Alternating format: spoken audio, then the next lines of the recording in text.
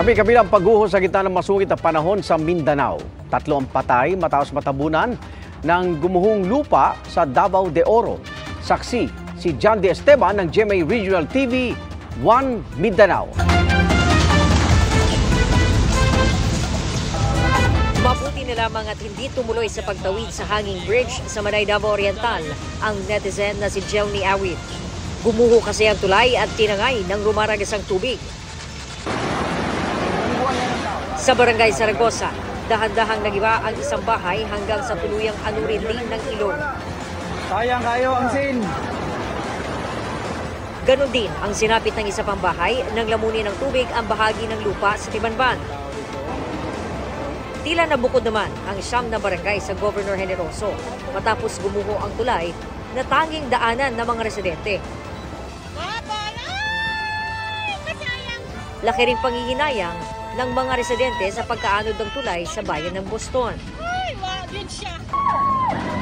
Nangahas namang tumawid sa tubig ang lalaking ito sa bayan ng Baganga. Pero nahulog siya at inanod ang kanyang motorsiklo. Ligtas naman ang lalaki. Kabi-kabila rin ang nangyaring landslide sa Davao Oro Province. Sa tabi mismo ng kalsada, gumuho ang malaking bahagi ng bundok sa bayan ng Mawab. Maririnig pa na pinatatabi ng mga residente ang isang babae na nag-aabang noon ng bus na masasakyan. Nagkandahulog din ang malalaking tipak ng bato sa kasagsagan ng pag-ulan kahapon sa bayan ng Mako. Sa bayan ng Maragusan, tatlo kabilang ang babaeng 12 anyos ang patay matapos matabunan ng gumuhong lupa. Patuloy ang paghahanap sa isa pang lalaki. Isang pamilya naman ang sinagip mula sa pagbaha sa Santo Tomas, Davao del Norte. Sa Davao City, nasagip ang ilang residente matapos umapaw ang tubig sa Davao River. Ang ilan sa mga kabataan enjoy pa sa pagtampisaw sa abot baywang na baha. Pero ang ilang residente isinakay na sa rubber boats para mailikas mula sa Matina Gravahan. Sa isang gym, nagtungo ang mga evacuee. Ang ilan sa kanila natutulog sa loob ng mga tent. Ang worst is kanang pagpanglimpyo. Pagpanglimpyo ta sa mga gamit. Tapos di man naman makuhaan gud ang tubig kung taas kayo. So kato among gipang prepared ng mga gamit, maabtan siya tubig ba. Marami raw sa mga residente ang lumikas na nang marinig ang mga siren bilang alarma. Magsiri nagkaduha, bakwita gyud mi. Muna ang mga Oo, kay balo na may di para sa una nga maghulat pa mi sa tao nga inaana magbakwit.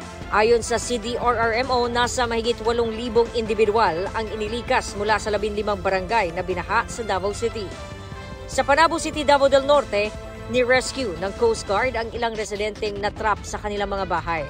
Dahil sa danyos na dala ng malawakang pagbaha, isinailalim na sa state of calamity ang Panabo City. Ang trough ng low pressure area pa rin ang nagpapaulan sa ilang bahagi ng bansa. Sa datos ng Metro Weather, umaga bukas may pag-ulan agad sa Sulu Archipelago, Zamboanga Peninsula, Soxargen, Caraga, Davao Region at Negros Provinces. Halos buong Mindanao naman ang uulanin sa hapon. Para sa GMA Integrated News, ako si John D. Esteban ng GMA Regional TV 1 Mindanao, ang inyong saksi. Mga kapuso, sama-sama tayong maging saksi. Mag-subscribe sa GMA Integrated News sa YouTube at para sa mga kapuso abroad, samahan niyo kami sa GMA Pinoy TV at sa www.gmanews.tv.